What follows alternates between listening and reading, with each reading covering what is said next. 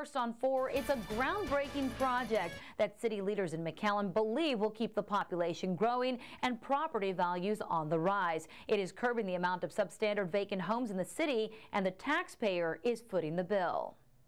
The idea was we have all these homes that are not habitable, and how can we tear them down and rebuild? An idea that quickly turned into a project in McAllen called Imagine Tomorrow. McAllen Commissioner John Ingram explains that 133 homes in the city were deemed uninhabitable in 2013.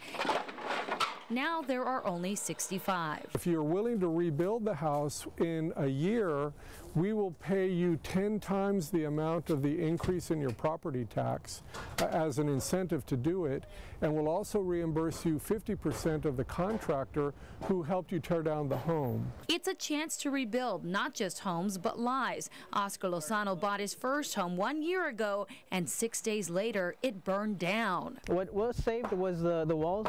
Uh, other than that, the whole roofing, electrical, plumbing, um, sheetrock, everything has to be replaced. He doesn't want to move away and start over. He wants to stay here in the neighborhood where his grandparents, parents, aunt and uncles all reside.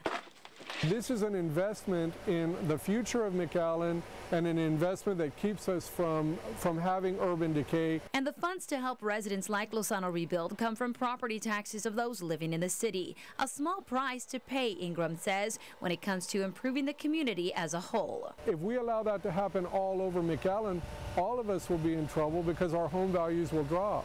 So by investing in our city, investing in the urban core of McAllen, we make the whole city uh, more vibrant, uh, property values go up. Lozano only qualifies for one part of the program, which provides dumpsters and pays for the hauling of the materials. Still, he says when he's paying for everything out of pocket, every bit counts. They were providing the roll-off dumpsters um, uh, at no cost. Uh, so that's really helping out a lot right now. Um, having in mind that it's probably, well, it's gonna maybe take like two or three dumpsters to uh, to get all this trash uh, hauled off.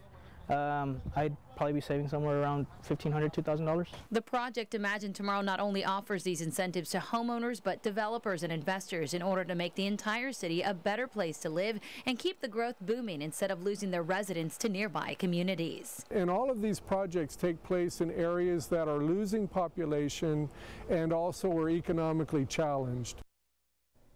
Project Imagine Tomorrow was among other projects that recently won the city of McAllen the Keep America Beautiful National Award. Would you support a program like this in your city where your money would be used to help those homeowners? Let me know on Facebook.com slash Action 4 News Marcy and on Twitter at MarcyKGBT. I'm online during the newscast.